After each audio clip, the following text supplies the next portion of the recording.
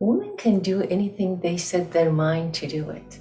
And history can show us that how strong we are if we really want to do whatever we like to do. Once we set our mind to do it, we know we're going to do very well. There should not be any gender inequality, any difference. We're all the same. If you're working hard, you deserve a great result. Not because you're a woman or men, the men should get more and the women should get less. We're doing everything. We're working together for a better future. International Women's Day is coming up March 8, which is coming soon.